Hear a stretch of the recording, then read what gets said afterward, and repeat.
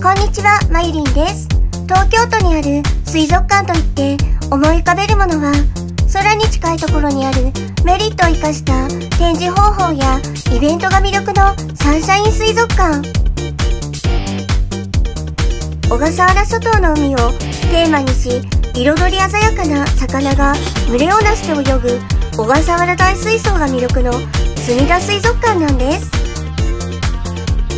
デートの定番水族館はカップルで楽しめるロマンチックな雰囲気の場所がたくさんあります。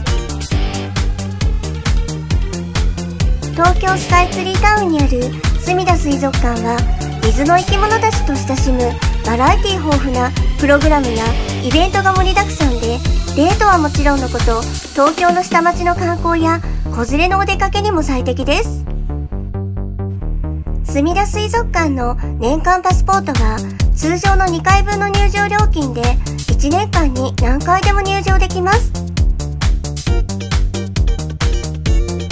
私はお得な年間パスポートを購入してみました。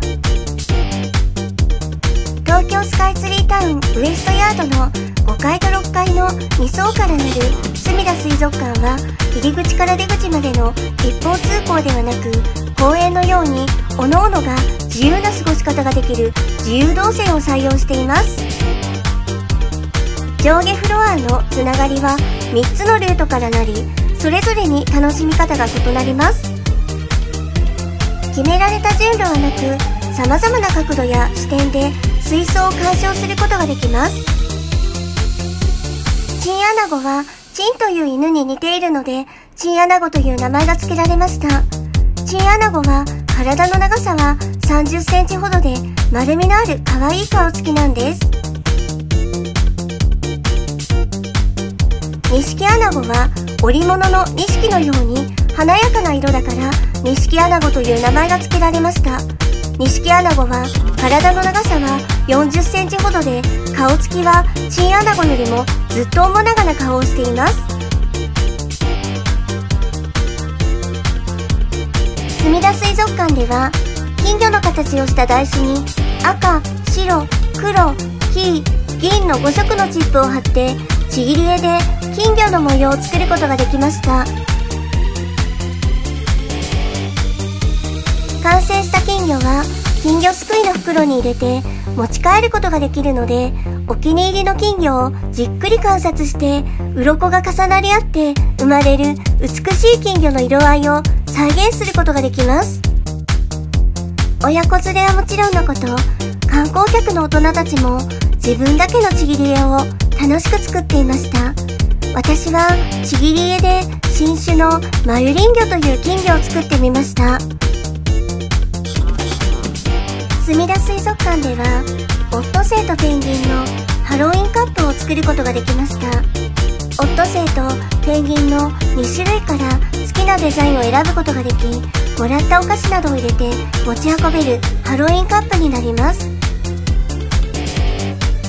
私はオットセイのハロウィンカップを選び謎のマユリンオットセイを作ってみまし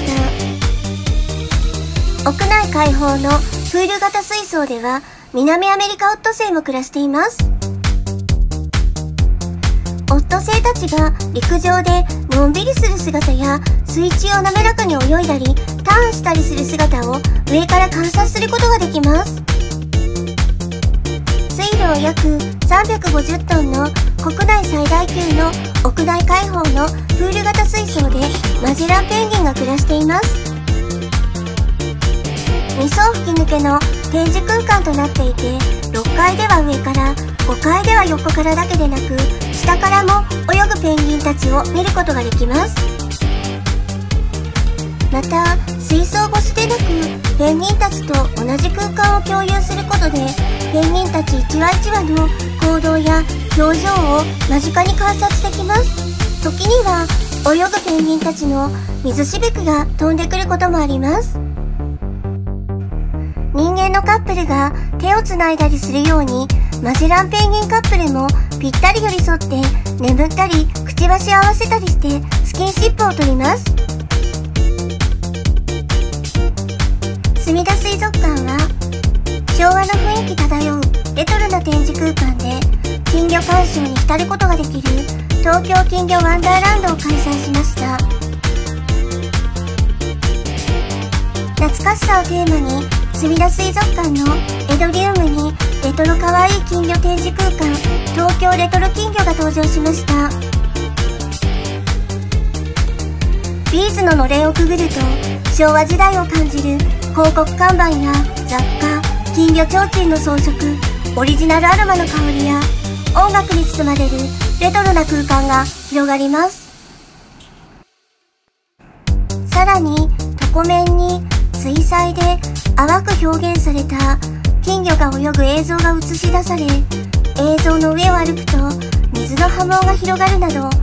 インタラクティブな演出を楽しめます。時間の移り変わりを感じさせる映像演出や懐かしさがテーマのオリジナルアロマの香りや音楽に包まれノスタルジーを感じさせる空間の中で新しい金魚鑑賞体験ができます。金魚は江戸時代に庶民の間に広がりそれからずっと人に親しみのある魚として愛されてきました。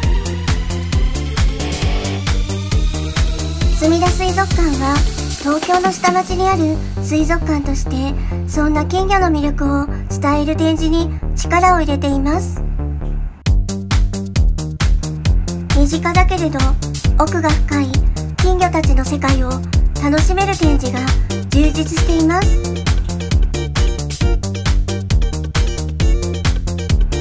和金、琉金、蘭中、江戸錦、東錦、単調、デメ金、たくさんの金魚が展示され目の保養になりました。